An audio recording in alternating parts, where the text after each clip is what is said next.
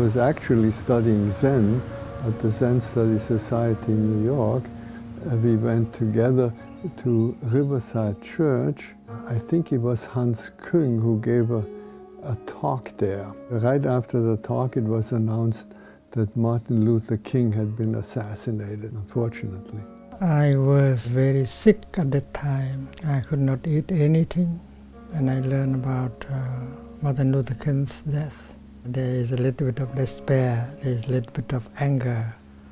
A few months before, I met uh, Martin Luther King in Geneva during a peace conference. He stayed up on the 11th floor with his uh, team of workers and uh, he invited me to come up uh, for breakfast but I was caught in an interview you know. So I uh, came up late. And he kept um, breakfast warm for me. Mm. it was the last time we met. And I was able to tell him that uh, in Vietnam, those uh, of us who struggle for peace and human rights, we consider him to be a living bodhisattva. Mm. I was very pleased to, to hear that. I'm glad that uh, I had the opportunity to tell him that before he died. What I have been doing since that time is just to build community and we do it uh, for him mm. also.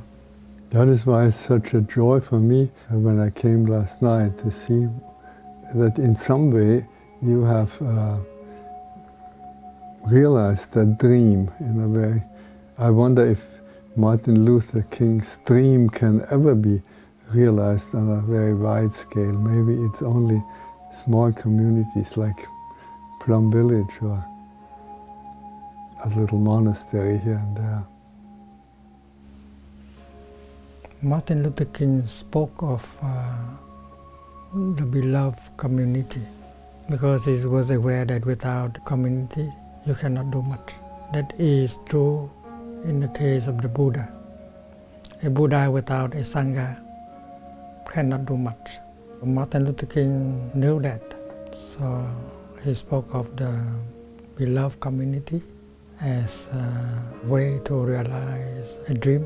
A Sangha, a community, should have uh, harmony, brotherhood, sisterhood, the same ideal, and everyone should behave uh, like a cell in the same body, no discrimination. With a Sangha like that, you can achieve uh, whatever dream you have. I think Martin Luther King knew that.